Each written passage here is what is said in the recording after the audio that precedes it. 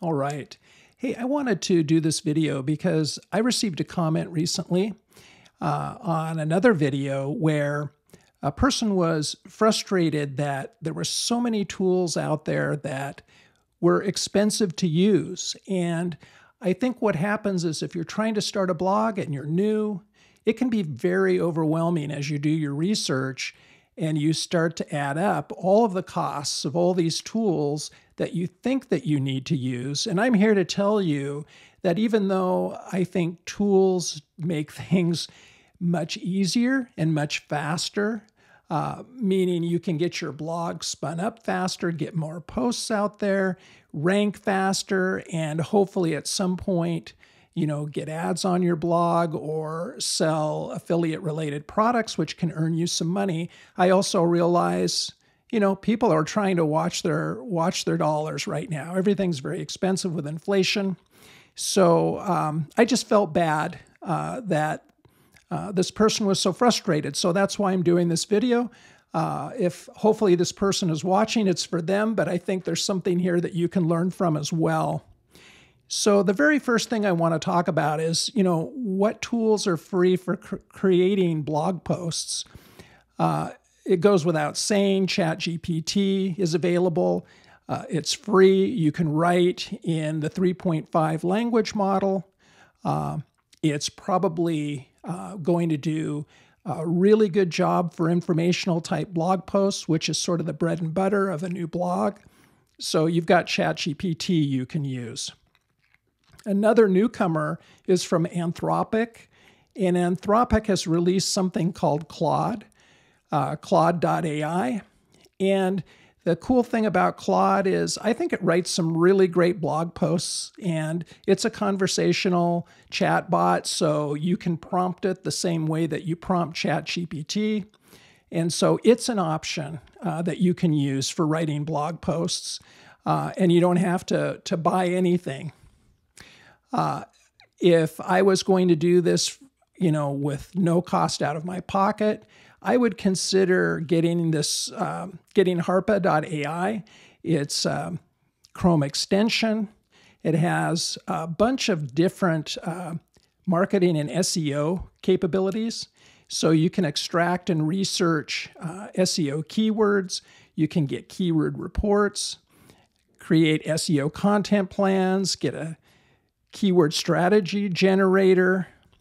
So it'll do SEO audits to improve uh, EEAT, which is you know expertise and authority.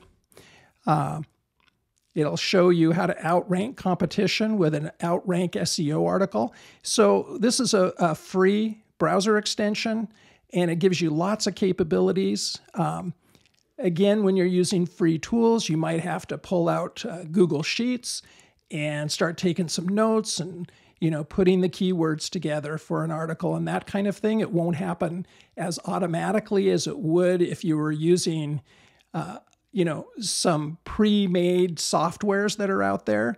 Uh, but you can do it for free. Uh, you just have to uh, put together the right resources and develop your own workflow. So you need to find keywords to write about uh, I don't know who this guy is, but he does have a video about how to find long tail keywords uh, that you can rank for in Google search. And basically, it's just me talking about how to use Google autocomplete to find long tail keywords. Again, you know, I keep reiterating long tail keywords are the bread and butter for, for new blogs with no domain authority, these informational types of blog posts. So you can do that just by using Google and Google autocomplete and looking at other things like people also ask uh, that Google uh, presents to you. So there's lots of ways to uh, find these uh, keywords that you can write about. So one of the big costs, of course, is hosting and uh, what content management system are you going to use. Now, most people gravitate toward WordPress.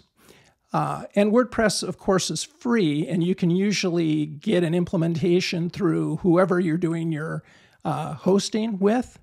Now, I happen to prefer to write my blog posts in static HTML, uh, and I use a free tool. It's a tool called Publii, and it's an open source tool and it's got a great content management system for blogging with all of the SEO features that you need uh, to make sure you've got a crafted post that's going to be SEO friendly. Uh, the cool thing about static HTML is it's super fast. It's much faster than most WordPress sites because with WordPress, everything is in a database. So you're making lots of database calls. Uh, everything that you have added on top of WordPress, which would be, you know, the, the various plugins and so on, are other, those are all things that add to the overhead and can slow down a website. And with static HTML, and JavaScript and CSS done client side, you just aren't going to run into those kinds of issues. Uh, so it's so Google really loves fast websites, and the thing that's very critical is you need a fast website because, uh, you know, probably half of the people that are viewing your blog are on some kind of mobile device. So uh, Publii is free. I like it. I use it. I do have videos on it that you can watch. Now, hosting can get really expensive. Now, I host my blogs on Netlify. Netlify is free. So, and here's what I mean. So this this is a typically Netlify is used by developers for uh, working on projects and spinning up different apps and so on. But it can also be just used for plain website hosting. And Netlify is really cool because they let you use a custom domain name on the free account. So when you go to the pricing page, you can see it's got a starter package zero dollars to get started. And it has a global CDN. So it has a you know great content delivery network. So everything's very speedy, very fast. Uh, and you get 100 gigabytes of bandwidth per month. So if you've got a single blog or maybe two blogs, um, we're talking, you know, 100 gigabytes of bandwidth. That's quite a bit of data that you can push.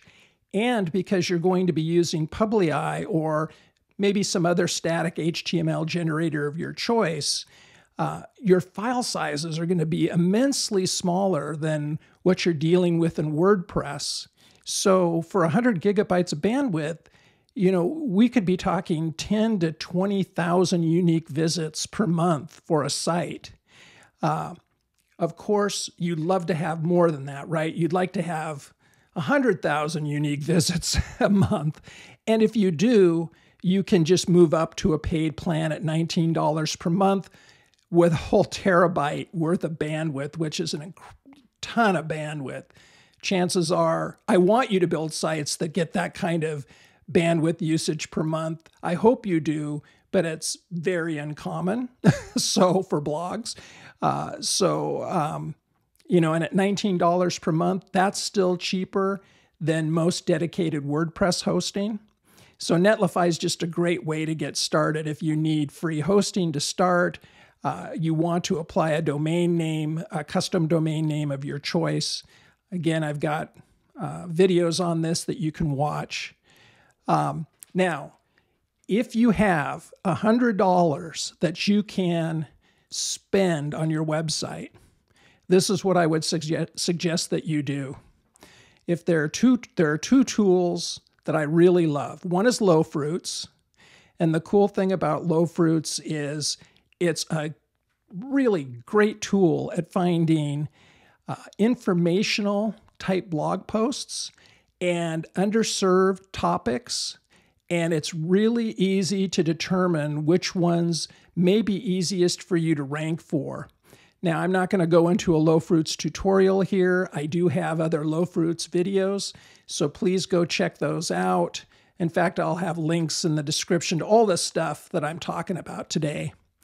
Um, but the bottom line is for $25, you can get 2,000 credits in Lowfruits. So every time you ask Lowfruits to analyze a potential keyword, that's a credit. So I bought 2,000 credits to start. I have two blogs. One is a new blog, and I've already found 200 keywords that I can write blog posts about that have a high chance of ranking because they're informational and they don't have a lot of competition. I found plenty for my fly fishing blog that I've mentioned in my other videos about fly fishing. Uh, and it, and so far out of the 2000 credits, I've only used 600.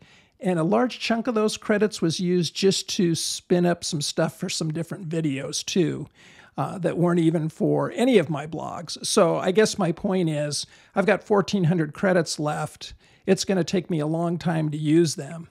So that's $25 of your budget. The other piece of your budget, I would apply that, you know, if you had $100 to spend, is NeuronWriter. So again, I have plenty of NeuronWriter videos that you can go take a look at. But NeuronWriter is an SEO optimization tool. It is a lifetime deal at AppSumo. You can get in for as low as $69. And it will do, at, at the $69 level, um, you can do 25 content analysis queries per month. So, a content analysis query is where you would take your keyword, like, is fly fishing boring? You drop that in and do a content analysis on that if you think that's uh, keyword you want to rank for if you were writing about fly fishing.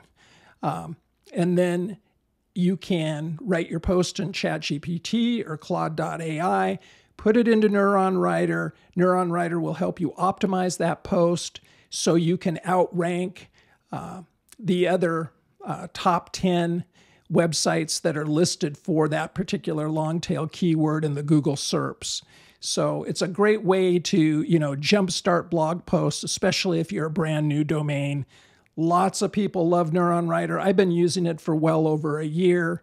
Um, it's a great tool, and at $69, it's a lifetime deal. So every month you're going to get 25 content analysis queries, and it does do some AI writing as well. So if you didn't want to use ChatGPT or Claude, if you wanted to have um, NeuronWriter create some content for you, you'd even get uh, 15,000 AI credits per month as well on the tool. So, um, you know, 70 and 25, you're right in the ballpark of, uh, you know, 100 bucks. And all you'd need to do is buy a domain name. You could host it at Netlify. You could create the blog posts with Publii.